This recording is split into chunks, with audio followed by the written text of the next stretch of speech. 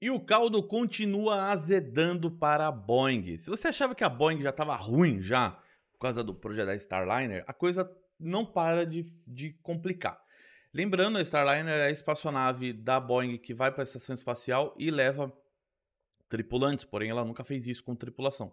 Ela já foi até a estação espacial e voltou, mas nunca levou ninguém por uma série de problemas é, que acontecem ali uh, do ponto de vista de engenharia. E o que, que aconteceu agora é que a Boeing relatou uma perda de 527 milhões de dólares no setor de defesa, espaço e segurança.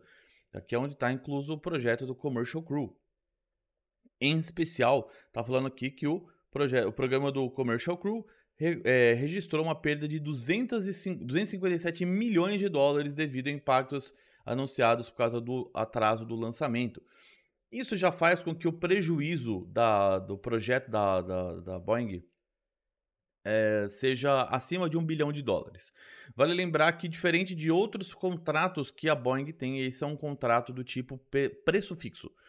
Uh, eles têm um outro tipo de contratação com alguns projetos, como o SLS, que é o Cost Plus, que é basicamente nós decidimos o preço ao longo do projeto e vocês pagam. É, vocês entendam né, o governo dos Estados Unidos, a NASA, né? Uh, e outros projetos que forem relacionados à área militar, é, só que com espaço. E aí, uh, com isso, mostra exatamente como o modelo da Boeing não está funcionando do ponto de vista uh, financeiro.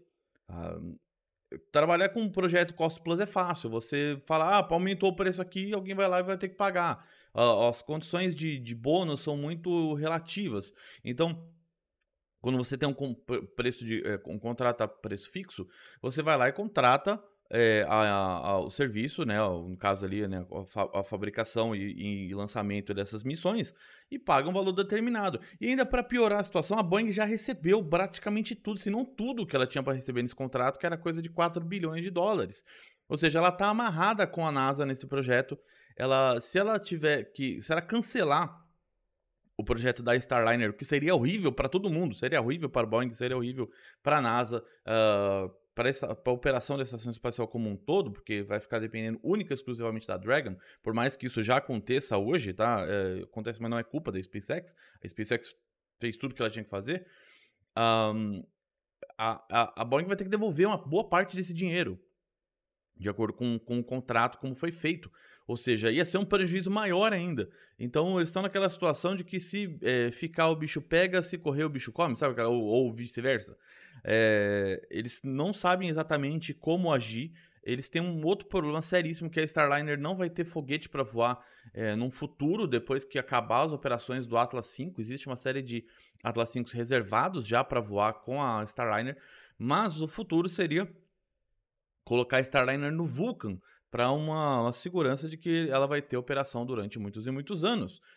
Só que a estação espacial só vai até 2030 então ainda a gente tem essa questão ainda de que, é, tá, mas a gente já está em 2023 e a Starliner nem voou ainda para valer, não fez a sua missão principal, que é levar a tripulação, nem a missão de teste é, de tripulação, né? Isso só deve acontecer ano que vem. Então, se a gente considerar que vai acontecer essa missão no próximo ano apenas, um, e a validação vai acontecer para o final de 2024, ou seja, a validação, é, a primeira missão oficial da, da, da, da, Starliner, ou seja, a Crew One, vamos dizer assim, da, da Starliner, porque a missão de demonstração não conta como início do contrato para valer, tá? Ela ainda, a, a missão que vai levar dois tripulantes é uma missão apenas de certificação.